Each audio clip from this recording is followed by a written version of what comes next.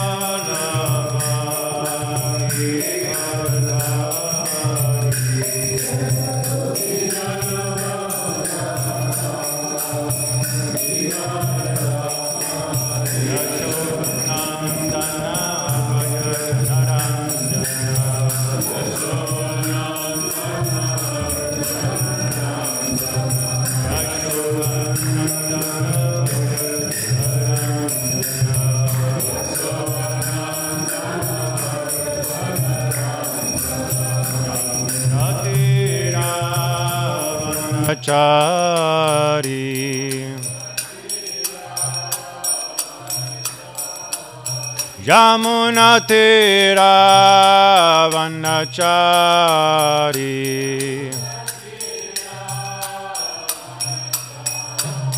जय राधा माधव धा Kunjavihari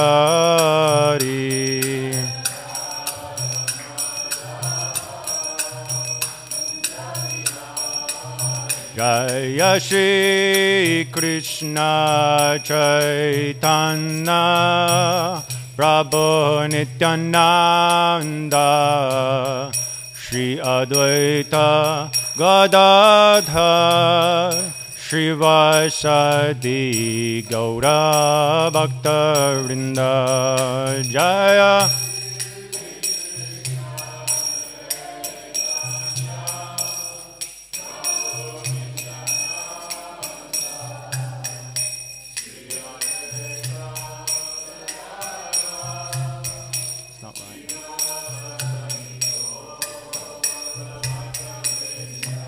Hare Krishna, Hare Krishna, Krishna Krishna, Hare Hare, Hare Rama, Hare Rama, Rama Rama, Hare Hare, Hare Krishna.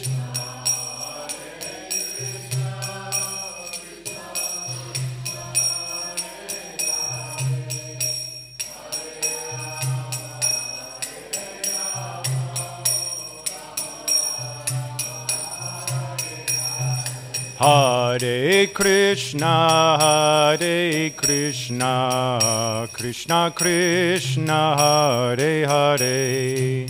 Hare Rama, Hare Rama, Rama Rama, Hare Hare. Hare Krishna, Hare Krishna.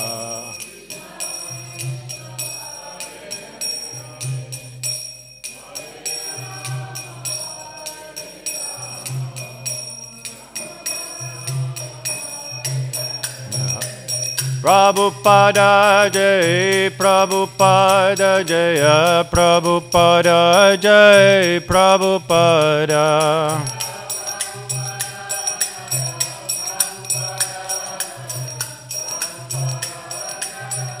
Jaya Prabhupada Prabhupada Prabhupada Jai Prabhupada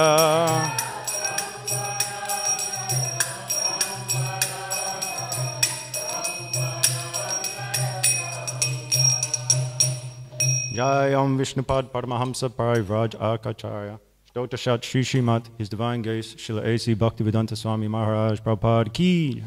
Jai Om Vishnupad Paramahamsa Parivraj Akacharya Shtottashat Shri Srimat, His Divine Grace, Bhakti Siddhanta Saraswati Thakur Maharaj Ki. Jai. Anantakoti Vaishnavarinda Ki. Jai. Uh, ISKCON founder Acharya, His Divine Grace, A.C. Bhaktivedanta Swami Srila Prabhupada Ki. Jai. Namacharya Srila Haridas Thakur Ki. Prem Saikaho Sri Krishna Chaitanya Prabhu Nityananda Sri Advaita Gadadhar Shiva Sarigaur Bhaktivinoda Ki Shri Shri Radha Krishna Gopa Gopinath Shamakund Radhakund Giri Govardhan Ki Jai Vrindavan Dham Ki Mai Dham Ki Ganga Mai Ki Jai Yamuna Mai Ki Jai Tulsi Devi Ki Jai Bhakti Devi Ki Samaveda Bhaktivinoda I go Gaura Premanandi All glories to the assembled devotees. All glories to the assembled devotees. All glories to the assembled devotees. All glories to Sri Sri Guru and Gauranga.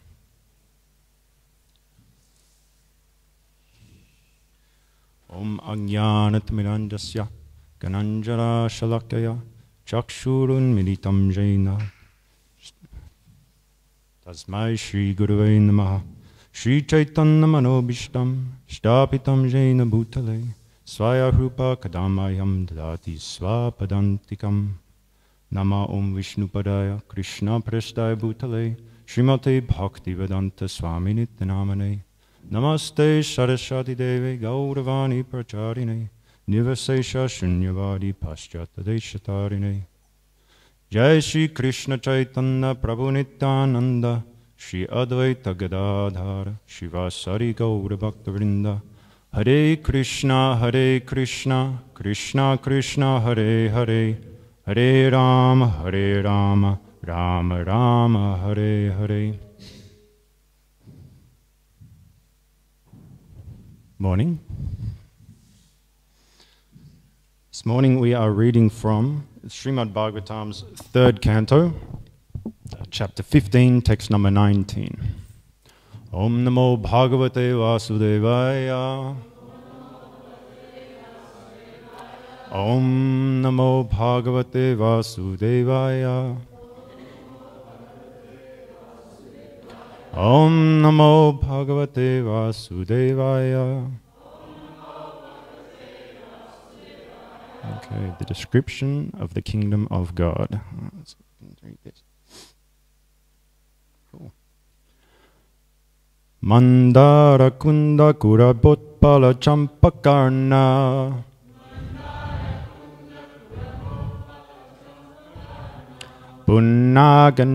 Bakulambu Japarijataha.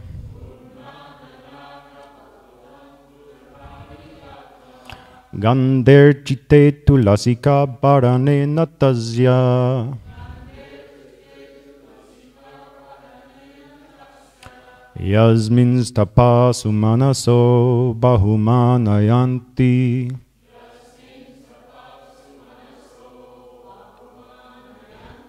Mandara kunda kurabotpala champakarna.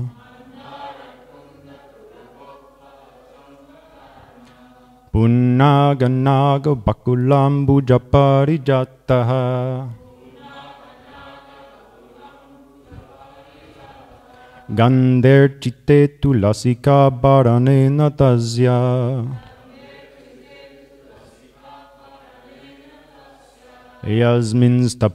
Manaso bahumanayanti.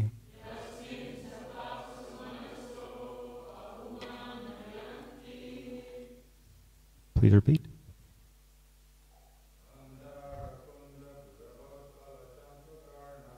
Mandara Kunda Kurabotpala Champakarna. Punaganaga Bakulambu Japarijataha. Ganter Chite Tulasikam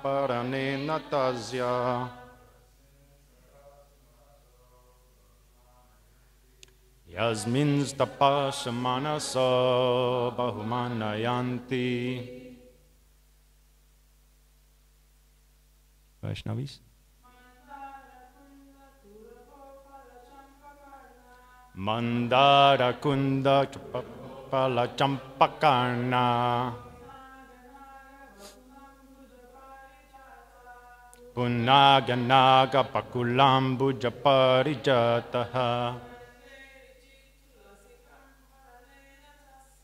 Ganter chite tulasika marane natasya.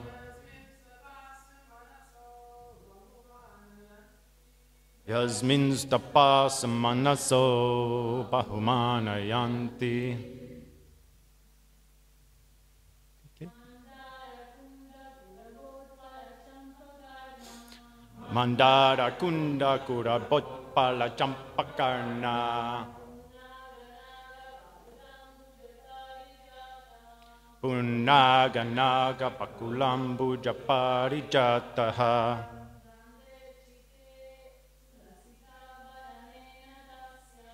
Kunde chite tulasika parane natasya.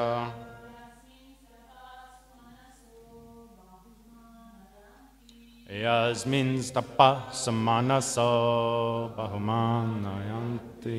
Hare Krishna. Word for word. Mandara. Mandara.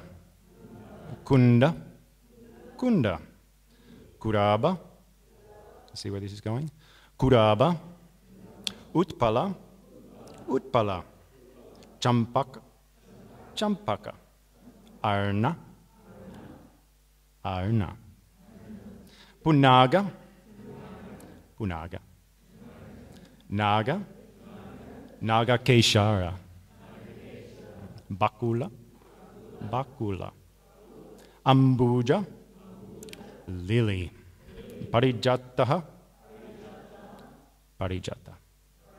Gande. Fragrance. Archite. Being worshipped. Tulasika. Tulsi. Abharanena. With a garland. Tazya. Of her. Yasmin. In which Vaikunta. Tappa. Austerity. Sumanasa. Good minded, Vaikunta minded. Bahu. Very much. Manayanti. Glorify. Oh, it's all up there. Oh, I see. Spoilers. Although flowering plants like the mandara, kunda, gurabak, utpala, champak, arna, punaga, nagakeshara, bakula, lily, and parijata are full of transcendental fragrance, they are still conscious of the austerities performed by Tulsi, for Tulsi is given special preference by the Lord who garlands himself with Tulsi leaves. Purport by His Divine Grace, Srila A.C. Bhaktivedanta Swami Prabhupada Ki Jai. The importance of Tulsi leaves is very clearly mentioned here. Tulsi plants and their leaves are very important in devotional service. Devotees are recommended to water the Tulsi tree every day and collect the leaves to worship the Lord. One time, an atheistic Swami remarked, What is the use of watering the Tulsi plant? It is better to water eggplant. By watering the eggplant, one can get some fruits. But what is the use of watering the Tulsi? These foolish creatures, unacquainted, une- unacquainted with devotional service, sometimes plays havoc with the education of people in general. The most important thing about the spiritual world is that there is no envy amongst the devotees there. This is true even amongst the flowers, which are all conscious of the greatness of Tulsi. In the Vaikuntha world entered by the four Kumars, even the birds and flowers are conscious of service to the Lord.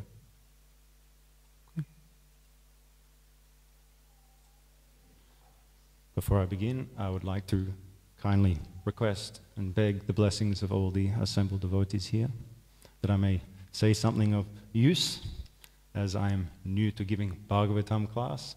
I am very humbled and honored to be here to be able to present something here, and especially with such a beautiful verse. So um, let's begin.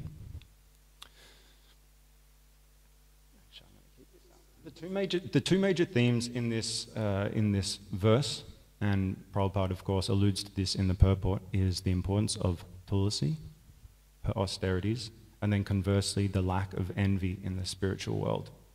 So, how is this applicable to our lives? Immediately, we can see that there are 11 flowers mentioned in this verse. Some, perhaps, well, I mean, I recognize lily, that's about it. but beyond that, we can only hope to imagine and one day see and smell the transcendental fragrance of these flowers that exist in the spiritual plane. They must be large in size, small in size, very fragrant, very beautiful, something that's beyond perhaps our capacity here on this material world. So the attributes are very beautiful, and it's even recognized here. But then Tulsi, Tulsi as we see her here, in this form here as a plant, perhaps externally, materially, she's simple, just small green leaves, and manjaris themselves are pretty and beautiful, but they're not what you would perhaps think transcendental in size and look. But she has a particularly special place uh, in uh, Vishnu or in Krishna's world or heart, or lotus feet, I guess, is more apt. I was listening to a class on something similar to this, and it was pointed out that these garlands, these beautiful garlands and these flowers that he used for these deities here every single day, unbelievable. Wouldn't it be amazing if their fragrance could last eternally, forever? You take it off and they're still, I mean, the Garland team would probably think that's pretty ecstatic. Everyone else would think that's pretty ecstatic. Just to think these fragrances would last forever. But these flowers here, it says in Vaikuntha, in the spiritual world, they do. You can pluck them and they're going to remain just as vibrant, just as fresh as they would when they were on the plant themselves. So service, through and through, 108% service from start to finish, you know. But Tulsi is something different. And here especially it's mentioned that these other flowers actually take a step back when Tulsi comes along for some service. This seemingly humble, unsuspecting plant or flower comes to do some service. And with a non envious spirit, these, these other flowers will actually step back and allow them to do some service. Why? Because they're aware of the austerities that she has performed. Even on our level here, we can observe that in the morning, particularly, the mode of goodness, the Brahma, Brahma Muhurta hour, that the fragrance of Tulsi is particularly uh, strong. It says those in the mode of goodness or pure goodness, they, will, they are quite sensitive to that and they can appreciate Tulsi very much, even more so than the other flowers.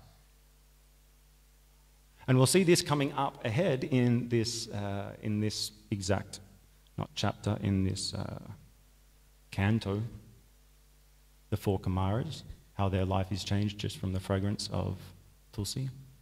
But we'll get to that. That's maybe spoilers ahead. Big conversation.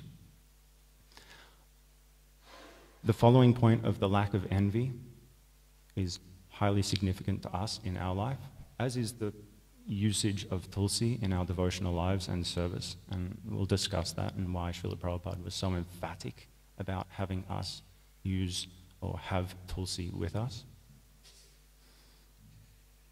Prabhupada mentions that envy is the beginning of material life, which is what we're entrapped in. So it's really important to understand what's keeping us here and what will help us leave here, even while still being here, to be in what he would say Vaikuntha consciousness.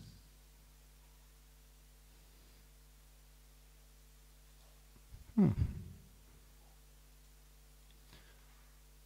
So there were two places where the pastimes of Tulsi Devi were written, at least as far as I could find, that I could understand, was the Skanda Purana and this Brahma Vaivarta Purana. And it, des- it describes how Tulsi wasn't and still isn't always just a plant here that we have access to like this. That she eternally resides in Goloka Vrindavan as Vrinda Devi. And due to, we won't go into it because it's like a rabbit hole like the Mahabharata. As soon as you talk about it, that'll be two weeks of talking Tulsi pastime, so we won't do it. But essentially, Vrinda Devi was sent down to earth and became Tulsi Devi. She desperately wanted Vishnu as a husband, and so she began to perform severe austerities, tens of thousands of years, kind of like Dhruva Maharaj, you know, standing on one leg, only surviving on water, surviving on breath, only, you know, like this. And then as this is happening in parallel, you have Sudama Brahmana from the spiritual world. Maybe you've heard one of the Gopas. He was also, for pastimes, Radharani sent him down here and appeared as a personality named Shankachuda. Why this is important? It's because that's who Tulsi married. So, though Tulsi wanted to marry Vishnu, after her austerities for many, many, many, many, many years, Lord Brahma turns up, as he does, after severe austerities we read in the Shastras. He turns up and says, like, I'm paraphrasing, what's up? She says, Well, I want Vishnu as a husband. I say, Well, okay, but I've also made some other arrangements in the background here. You know, you've just got to trust me here. I highly suggest that you go and marry this Shankachuda. So this very fixed up devotee who eventually became kind of demoniac, very powerful, more powerful than the demigods. Is, you know, another war breaks out. And as I said, that's a rabbit warren. We won't go down, but nonetheless, the point of the story how do we get Tulsi from this story. Vishnu comes and fools Tulsi Devi as a part of this pastime to defeat Shankachuda was to, to weaken him by essentially affecting Tulsi in her person, form, her chastity. So Vishnu arrives at her doorstep dressed as, looking as Shankachuda, her husband. So, of course, naturally, is a very chaste, very faithful, unbelievably devotional, wonderful, wonderful personality. She welcomes him in, gives him a nice place to sit, offers some water, some nice words, as we do Vaishnav characteristics, Vaishnav qualities, bathes his feet. But then, as that's happening, this isn't his feet. This isn't my husband's feet. What's going on here? You know, so she's like, this is not right. Something's happened. Hare Krishna and realizes that it's not the husband. So, who are you? If you're not my husband, who are you? And then Vishnu is like, you know, oh, you got me, Krishna, you got me. So reveals his form. And rather than us, who I imagine if we'd performed some austerity and then Krishna comes before us in his form, you'd be pretty happy. You'd be pretty excited about the whole situation. But she wasn't. She was furious. Absolutely furious because she was such a chaste and such a loving, faithful wife and devotee like this, so no one gets in the way of her chastity like this. And to be fooled like that, she turns around to Krishna or to Vishnu in this circumstance and says, Only someone with a heart of stone could do this.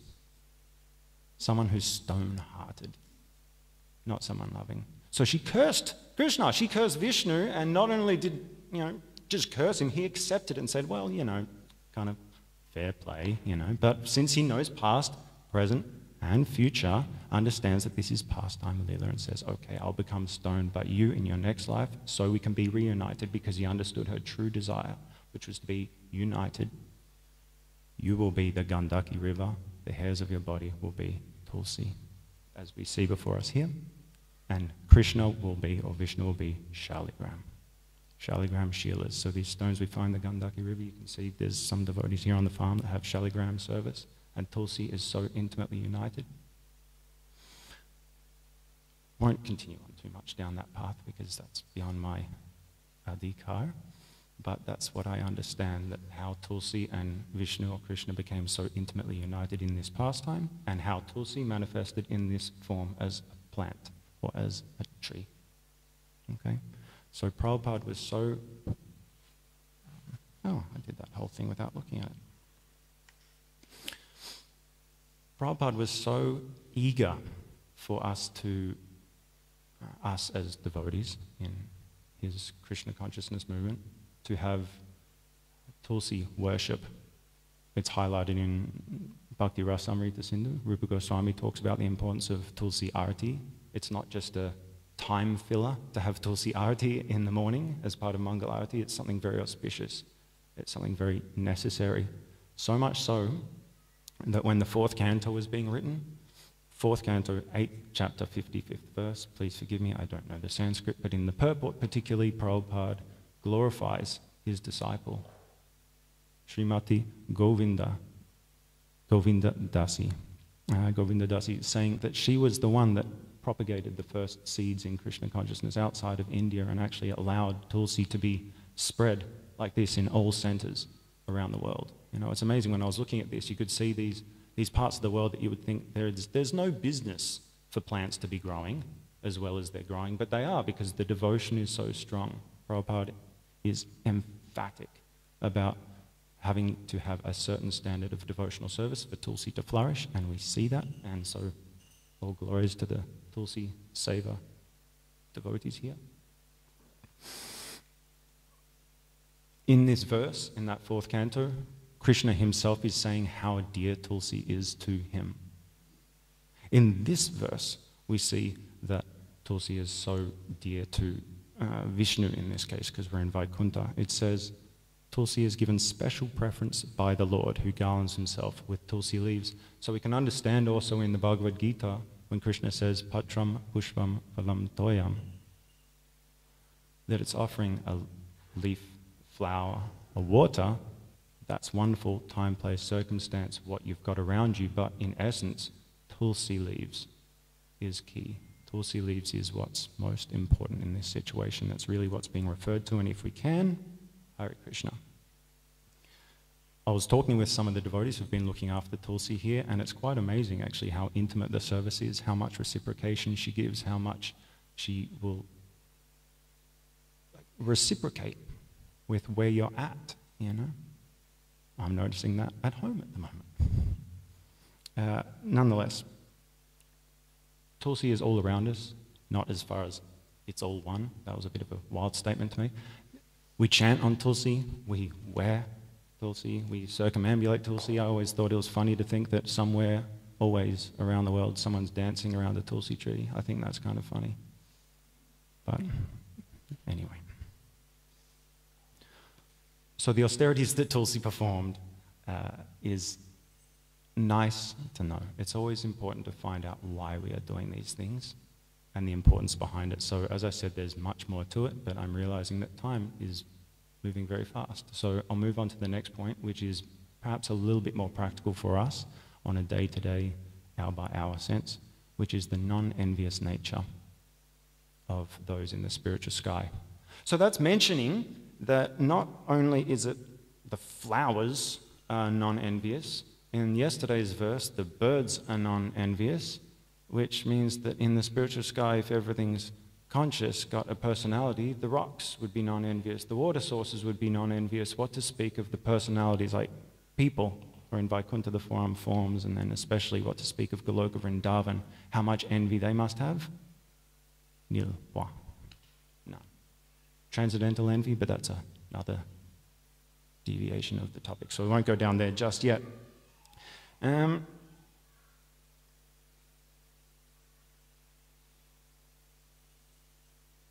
unfortunately, for us, since envy is the beginning of material existence or material nature, it is inherent in us to have envy.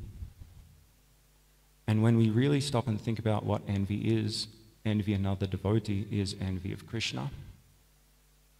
Because Krishna is the one that has given us these qualifications, these looks, these skills, this place that we're born.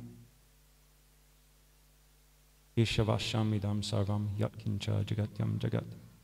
In the Ishopanishad, Krishna says that he is the control, the maintainer, but more importantly, there is a quota given. There is a quota given to all of us at the time of, well, us being here. So if we have a quota, why should I chase after someone else's quota or be unhappy that they have something more that I don't have? That's envy of others and envy of Krishna, saying that I know best or I want more than what Krishna is going to give me. And so that's not particularly Vaikuntha consciousness. How to. Mm, yeah, rise above having this envious nature. Srila Prabhupada elaborate, uh, elaborately describes this in many different ways. Especially, uh, essentially, it's chant Hare Krishna, but not just flippantly, non offensively, the first offense, you know, to blaspheme devotees. It's, it's literally the first point. So it's, it's, kind of, it's kind of right in front of us, but it's very easy to do. So there was a story I heard by uh, His Holiness Radhanath Swami Maharaj. He was giving an anecdote about when Prabhupada was still here, at least in his physical form. He was getting into, into his car, I'm not sure which temple, but he was getting into his car to leave. And this man was chasing, chasing, chasing down. He was like, Swamiji, Swamiji, Swamiji, how do I become Krishna conscious? I mean, how would you answer that in a short snippet? I mean, would it just be chant? Would it associate here nicely? Sarvadharmam prityaja mamekam sharanam vraja. You know, like hit him on the back of the head with a Bhagavad Gita and say surrender to Krishna, you know? Rascal. Like, maybe. It depends on the person, I suppose. But no, it was much simpler. And this is the qualification of someone who is so exalted as Srila Prabhupada. He could condense everything into one word, and it was desire. I'm sure there were many. I know there were many more opportunities for Prabhupada to give you know, all this nectar. I mean, literally every word of this is Prabhupada's nectar. But in this particular instance, I thought that was quite profound. One word desire. To desire. To desire what? To desire a bigger house, more cars, more fancy dhotis, a bigger kantimala, you know, like all this stuff. I got pretty fired up when I was in Mayapur trying to find the biggest possible tulsi root necklaces I'm wearing. I'm literally wearing it. I got really fired up before and I put it on. I was like, yes. That's my quota, Prabhu. I'm allowed it. So we must desire to be Krishna conscious. And that means to be non envious. So, mm, Krishna says in the second chapter of Bhagavad Gita, Bhoga Aishvarya Prashaktanam Tayapa Hrita Chetasam Vyavasayat Makabudi Samadona Vidi Vidyate Vidyate that one stumped me when I was doing my shlokas. I was always vidyate. Like, you're too Australian. It's vidyate. Anyway, so we get too attached to material, material things. And then with that attachment, that's not the literal translation, but we get too attached to material sense enjoyment. And with that sense enjoyment, our minds become bewildered. And then with that bewildered mind, our determination for devotional service goes. So we have to have that determination, the desire, the understanding that what's it going to take to remove ourselves from this problematic situation that we're in. And it seems all roads lead to envy, not Rome, envy. They got it wrong. So recently, there was the glorious disappearance day celebrations of Jayananda Thakur, and one of my favorite stories of his, and the reason this comes in, is a situation just like this.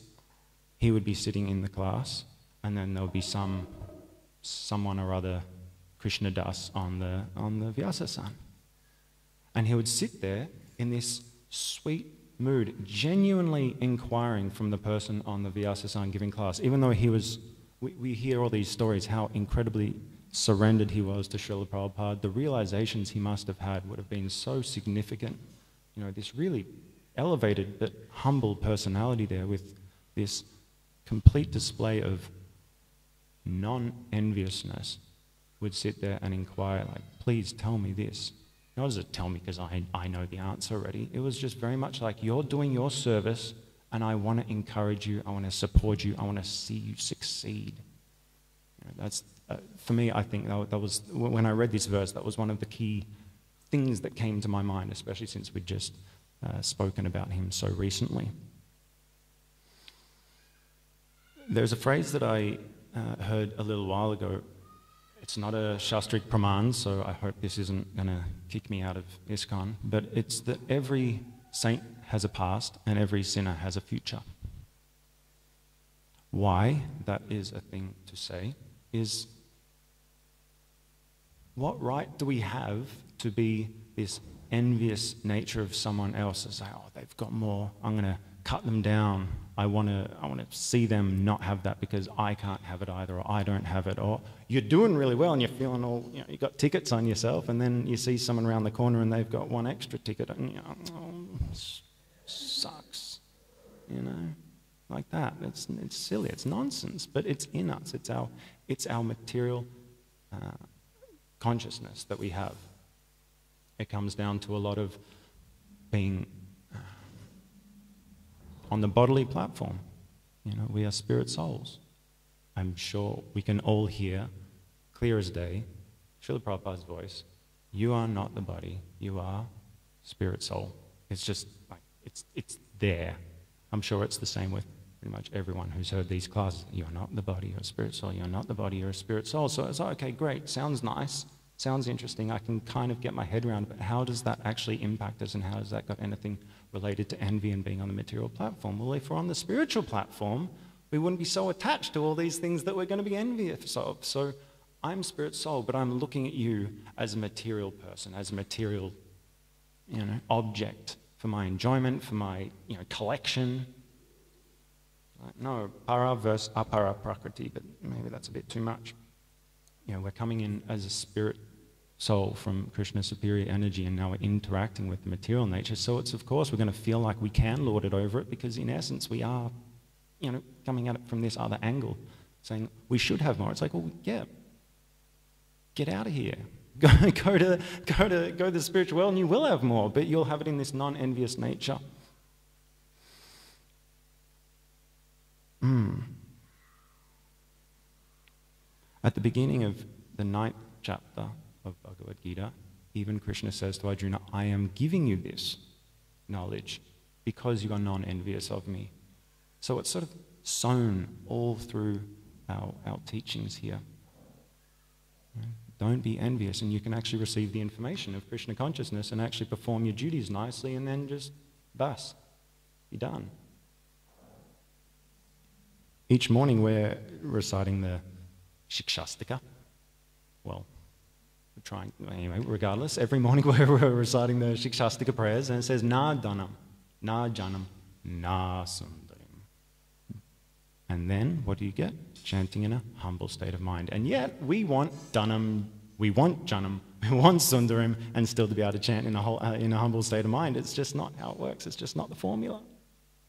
Like, yes to Dhanam yes to Janam, yes to Sundarim, yes to humble chanting. It's like it doesn't, it's not, it's literally but like it's not how it's presented to us. So we've got to understand how we can best approach our day to day life to become humble, to become non envious.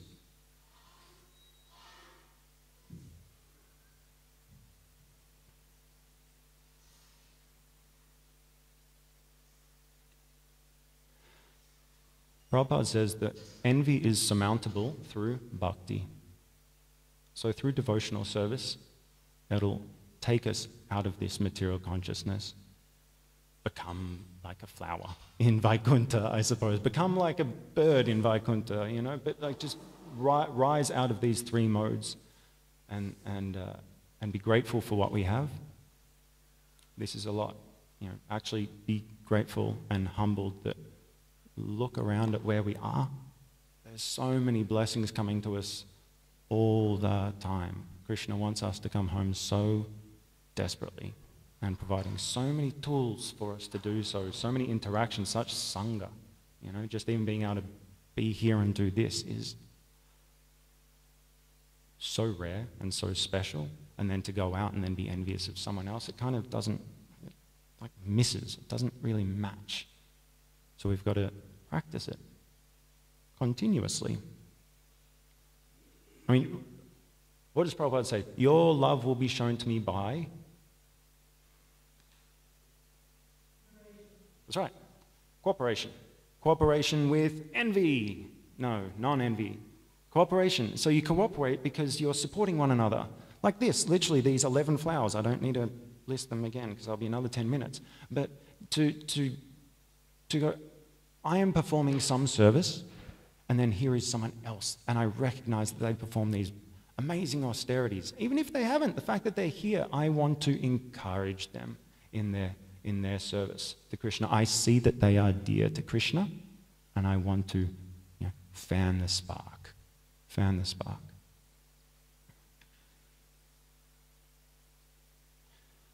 There's this really beautiful letter that I'll conclude with that I found this letter uh, that Prabhupada sent to uh, Madhavananda in 1974 on the 6th of October.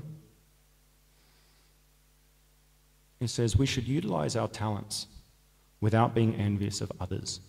You should do your best, but you should not be envious of others. In material life, there is simply envy of others' progress, but in spiritual life, one encourages another.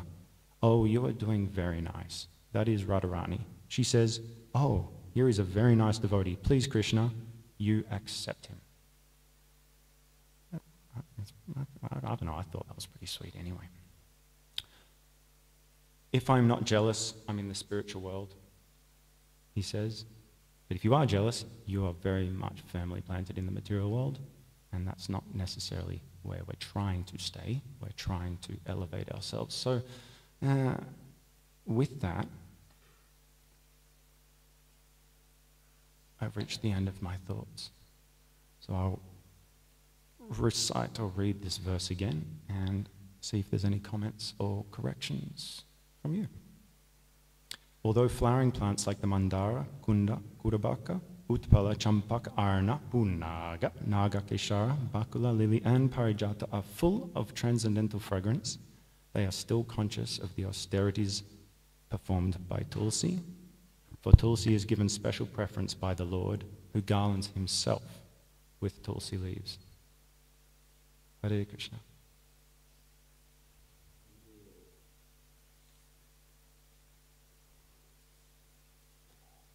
Does anyone want to chime in?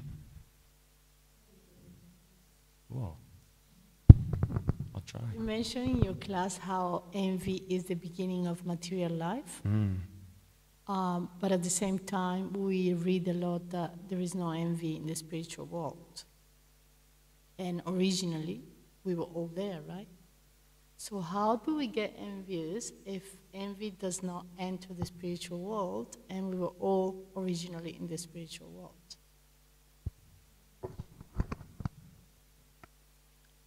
So we hear that there is a transcendental enviousness, not in any which way or shape or form that we experience it here. I'm sure you've heard of the envy between the gopis.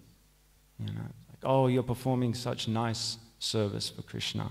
Let me also perform even nicer service for Krishna. So it's like this. Like, you, see, jump in there and perform some extra like this. That's the example, at least given in the highest, highest level. But how can we develop the envy to bring us to this material world? Somehow or other we've fallen into this ocean of birth and death. I really wish I could give you a succinct answer, and particularly from this spot in a temple, I can't. Um, I understand that there's one train of thought that says, you know,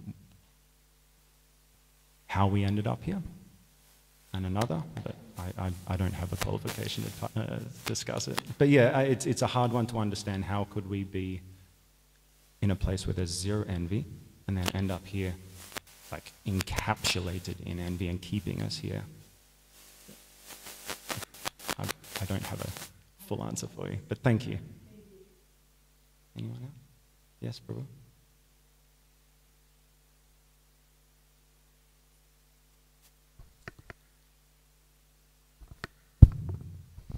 Thank you for the great question, Shringa. That was amazing. I was just going to ask if you had any realizations on what the transcendental fragrance, what would that, what would that be? well, it's a yes and no answer, so that's particularly unhelpful for you. When I've, hmm, What is a transcendental fragrance that I've come across? Uh, okay, the bathing oil of Nrsimhadev in Mayapur. So there are certain things where it's not particularly a smell or flavor or something you can put your finger on, you know. But the fact that it's touched the body of the Lord and then you get the remnants, it's like Charnamrita, like what, what, what possible flavor is that? What smell is that?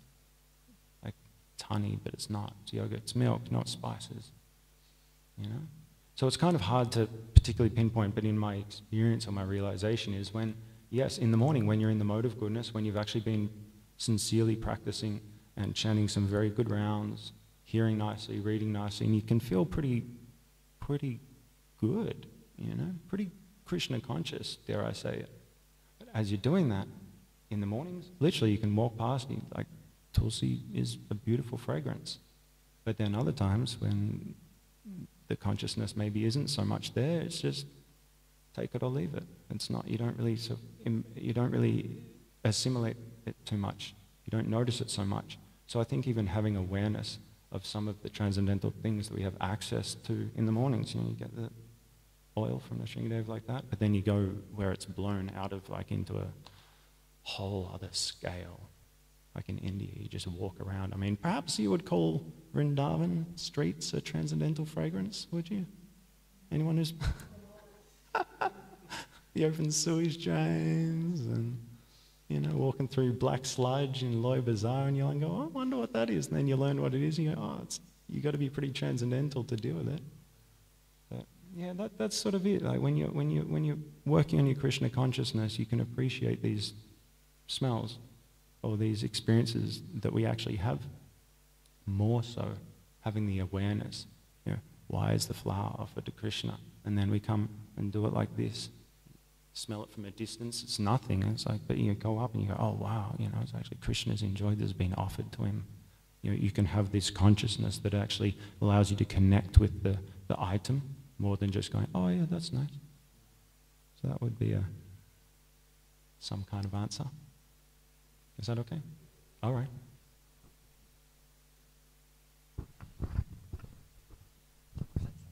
Yeah. Do it be heavy. Just, uh, I'll just a bit of a comment. Um, you were saying how we should see other devotees in a non-envious way, mm. and I kind of was getting flashbacks of uh, when we went up north, when we were in the Brahmachari ashram together. We went doing books and kirtan during COVID to get away from the madness. We've seen how uh, how difficult it is to come across favorable people in, uh, towards Krishna consciousness. And you would come across one or two each day and would call them dry grass because you just kind of fan them a little bit and poof, they become a light. And sometimes we forget in our everyday life within community settings that everyone who has taken the Krishna consciousness their dry grass. They've taken to the process. And um, we should really nurture each other and fan each other's sparks. And that's when it comes to, you know, humility and non-envious. Uh, and there's a, I was also thinking of that letter by Srila Prabhupada, and he said that devotees are better than kings. You know, if we get that, we may have our some impurities, some scratches on us. You know, every moon has its like blotches. Uh, but yeah, just do our best to see each other's best qualities and just really support each other because to become Krishna consciousness within this world, it's actually quite a rare thing. I remember myself and KG, we sat down when we were trying to crunch the numbers, we are trying to do a mathematical equation. You know, how many devotees, you know, compared to the amount of people on the planet. And it's a very small amount. So yeah, just to support each other and um, yeah, fan each other's sparks.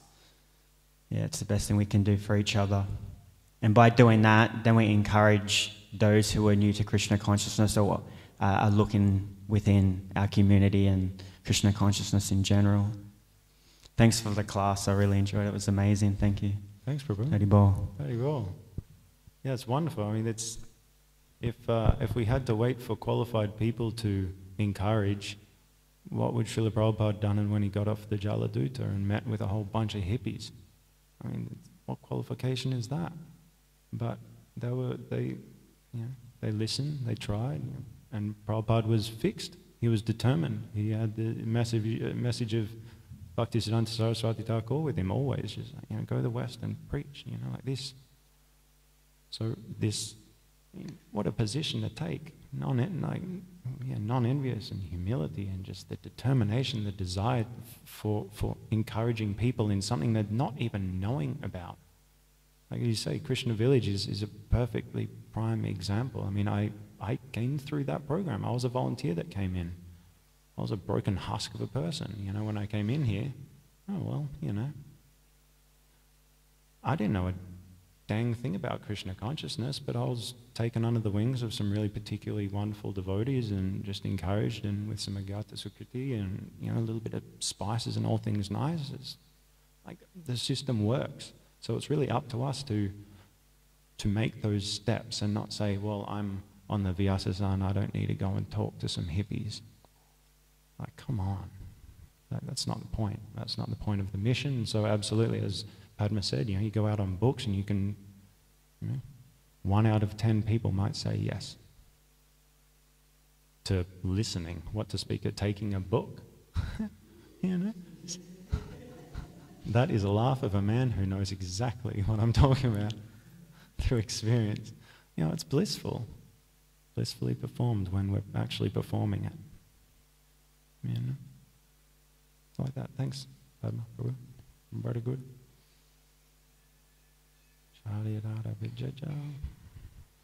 Is there anything else? Yes, bro.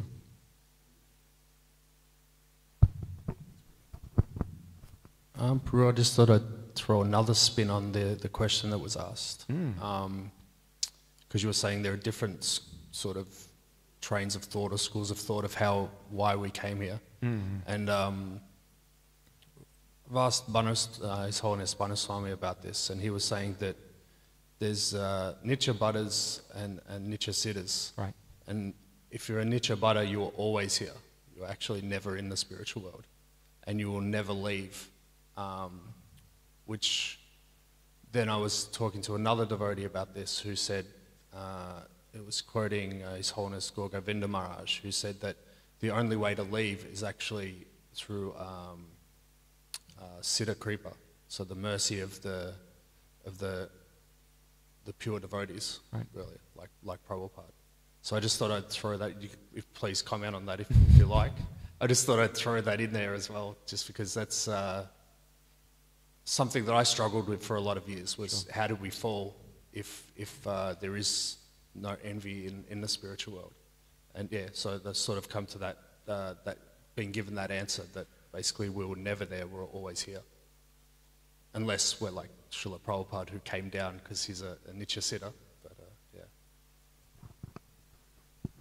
Hare Krishna. Thank you. Thank you. Yeah, yeah. Gaur Govinda Swami. Amazing. Unbelievable. Jiva Tattva Ki Jai.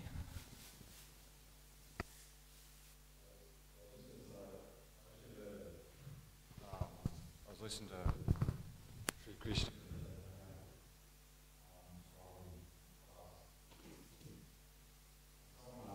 Question as to how did we end up here? How did we come here?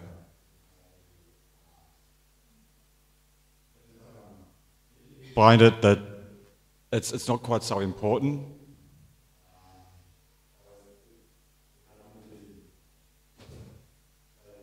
Standing out in the middle of the ocean, and um, out for help. You want to get out of there. You want to be ready.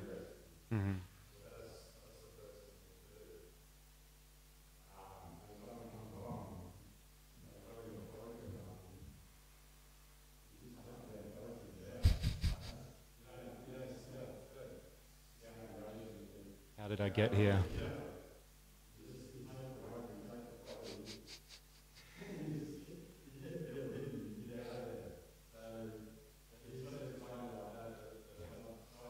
That's right. That's right. Oh, I love that. Take the floating and get out of here. And as my spiritual master would say, go back and ask him yourself. Go to Goloka and ask Krishna yourself. And then by then, who cares? You're back. Hare Krishna, Grantharaj Srimad Bhagavatam, Ki Jai, Srila Prabhupada, Ki Jai.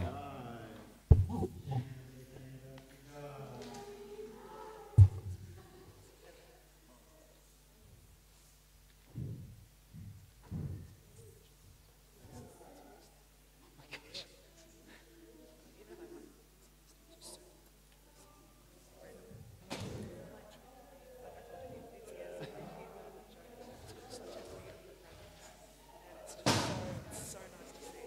Like, I really value it. It's so nice to get a pass usually across every month. Like, truthfully, I think your meal pass just, I really think that a lot of people really value what you have to share.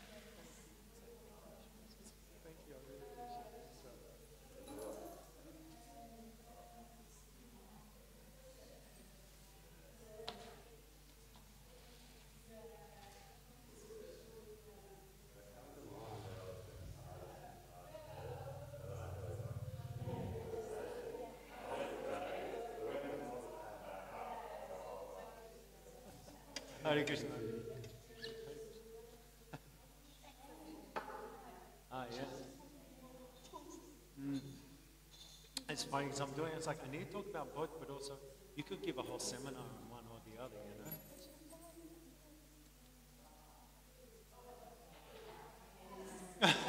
yeah, no, no, no, no, come back, come back, come back to us.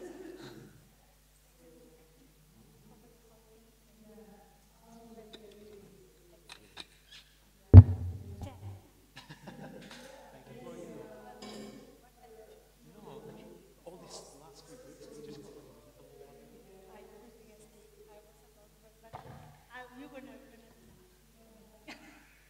Seen this thing, I would have.